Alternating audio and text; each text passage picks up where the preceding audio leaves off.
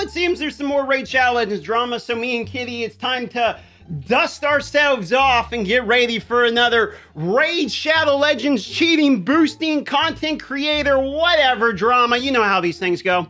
Okay, this drama unfortunately involves a lot of content creators, and a lot of content creators I actually really like.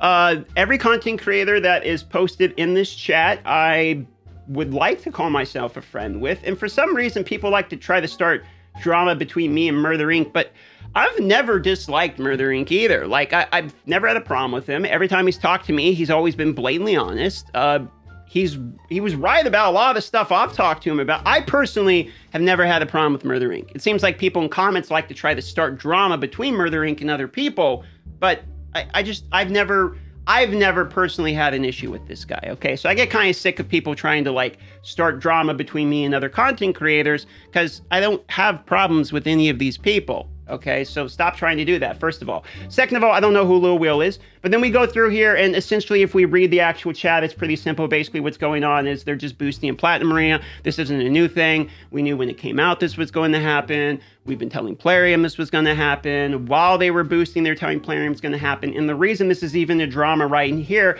is because this is all the way back in 2020, is because it's basically screenshots of somebody who was in the arena chat that either got salty or something and left. And so they took pictures. And all this chat is basically just showing your content creators uh, also being boosting. And, you know, there's big names in here like In One Wacko, which is Cartman, right? And then you obviously have Scratch, Farthing Cows. You, you got a bunch of content creators that are decently well known in here Manible, One Two Mess, all that, okay? And these are people who um, kind of make, I, I don't want to say a living, but kind of make uh, a big personality out of being top arena players. And I can understand why people would feel like if you're a top arena player and it involves boosting, it does take away a lot of the legitimacy from it. Now, I'm not a platinum player, okay? I've never been a platinum player. And sure, you could leave a comment if you want. Well, you're not a platinum player because you don't get boosted, and it's unpo- I don't. I don't buy that. I think there's legitimate platinum players. I know there's legitimate platinum players,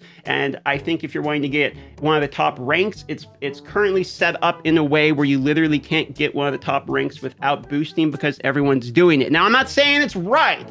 Okay, so stop. I'm not saying it's right. It's not. Let's get it over right there. I've said this multiple times on my channel. It's not right. I'm not changing my opinion. I'm bummed out that some of my friends are a part of it. Okay, that's that's the reality of it. However, what I am saying is during a busted, completely busted system, everyone is taking advantage of the busted system. The answer to this, and we could go down the route, and I could, sure, I could talk about Cartman and say, look, the reason I stopped talking to Cartman as a YouTuber is because he tried to get me to be a sponsor for this one company who will remain nameless that basically buys and sells accounts from people. I don't do that type of shit because I think that's scamming audiences. I think if you basically have eh, promote something where someone could buy an account account that then gets recovered and resold. I think that's basically scamming your audience. It's the same thing when people came to me with crypto and NFT sponsorship saying, look, DM, we'll give you your own crypto coin, DMT coin. You can pump it and we'll give you a shitload of it. Then you can pull it out and rug pull your own audience. This is real conversations I've had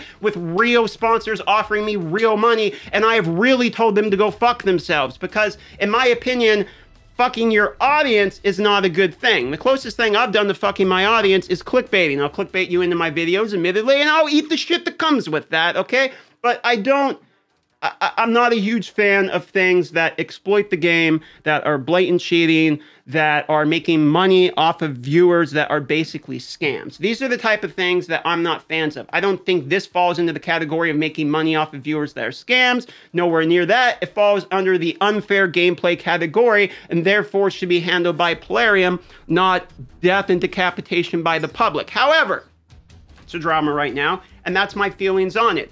Do I change the way I feel about any of these content creators from seeing them? No, they're still nice guys. I still like them. They still make good content. I understand it. Absolutely, I could understand if people are, are a little bit tilted by the fact that some of your favorite content creators have been or are currently cheating. Okay, I get that. I'm not here to argue against it, and it sucks that, you know, this is a thing. I wasn't actually aware that some of the people I know personally are boosting or were boosting, and that does, in my honesty, invalidate a little bit of how I felt about these people and asking their opinions about things, honestly, because I'm not really going to ask somebody's Platinum Arena opinion when I know they boosted to the top, regardless of how good of a Platinum Arena player they are, because that would be like asking the opinion of a NASCAR driver who, for whatever reason, has a car that's twice the turbo, or that every other car on the thing just decided to drive slower. I don't really care about that NASCAR opinions, the opinion of that driver because he didn't legitimately win. So it, this is why I avoid shit like this. The worst DMs you're going to get from me or me like raging and completely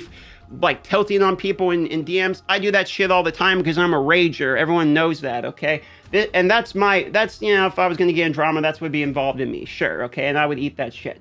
I'm not going to be caught doing cheating stuff because I don't like this. That's just my opinion on this. I don't think this is like cancel culture time. I don't think these people are dead in the water. I don't think it's the biggest deal in the world. I think the majority of what was going on is these guys were essentially cheating because everyone else is cheating. That's what I see. That doesn't make it right, and it still is wrong. That's just my opinion. Okay, hopefully it's unbalanced. I tried not to flame these guys in honesty because I actually kind of like these guys, and it feels bad to to kind of see what's going on. But that's just my opinion, and that's the drama.